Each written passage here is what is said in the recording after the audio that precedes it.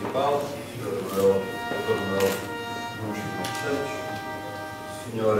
Tenente-General, eh, Presidente da Liga dos Combatentes, eh, Tenente-Geral Chico Rodrigues, Sr. Presidente do Núcleo da Liga dos Combatentes do Oliveira, Sr. Vitor Pinto, Sr. Coronel Manuel Silva, combatente, e aqui eh, hoje é na representação e falando para toda esta plateia, Sr. Vice-Presidente da Câmara, demais entidades eh, militares e de todos os ramos das Forças Armadas que estão presentes no núcleo, Sr. Vitor Pinto, eh, pelo facto de me convidar para estar nesta sessão e dizer-vos que estou, mais uma vez, com imensa satisfação e com o sentido do cumprimento do dever. Mas permitam-me que entendi desde a primeira hora que, estando e querendo eh, o núcleo homenagear 50 cidadãos da nossa pátria, que nada melhor do que para um ato solene desse ele mesmo ter lugar também num sítio uh, onde normalmente decorrem os atos solenes. E no nosso Conselho, uh, o Salão Nobre, espaço Conselho, é de facto o espaço mais dedicado ao meu serviço.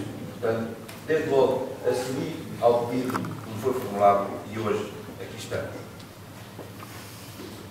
Já muito foi dito sobre aquilo que foram as vivências. De facto, isso vai muito para além da guerra, da crise, vai eh, a um nível que tenho simbolicamente e permanentemente eh, o sentir de defender algo, algo que acreditamos, algo que lutamos, algo que é nosso. E ao longo destas décadas, mais concretamente, eh, durante as guerras no ultramar, foram, ouvimos aqui a referência, a 800 mil cidadãos, compatriotas, que de uma forma determinada, desprendida, abnegada, decidiram defender a nossa pátria. E fizeram em, em situações muito difíceis, distantes de tudo e de todos, em zonas de guerra mais ou menos profunda, mas tiveram, para além disso, uma missão muito especial.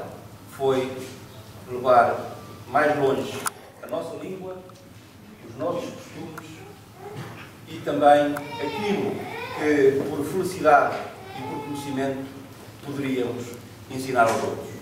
Ou seja, construir pequenas infraestruturas, pequenos acampamentos, melhorar as condições de vida daqueles, que, daqueles povos que viviam a tantos milhares de quilómetros de distância. E também aí, estes 800 mil, além de tantos mais, foram transmissores, foram professores, se quisermos, durante anos a fio de comunidades tão dispersas e tão distantes. Naturalmente, eh, a homenagem de todos devemos prestar, e se possível, em vida, a todos aqueles que já preferi eh, defenderam, lutaram por Portugal. Por este Portugal que é nosso. Continua a ser nosso. Continuamos a lutar por este Portugal querido.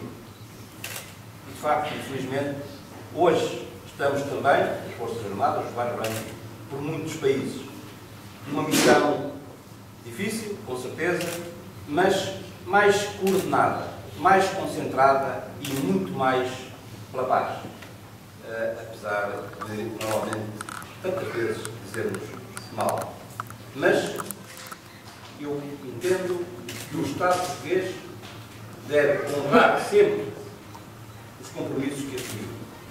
E se combatentes chamados a um serviço for, fizeram no cumprimento do dever e da missão, é justíssimo, eu diria indispensável, que o Estado português, nós também, a autarquia, também somos Estado, mas o Estado Central, de facto, não se esqueça. Faça exatamente o contrário. Ou seja, lembre sempre e marque a sua presença e honre os seus compromissos perante tantos militares, combatentes e ex-combatentes e ex-combatentes. どうぞ。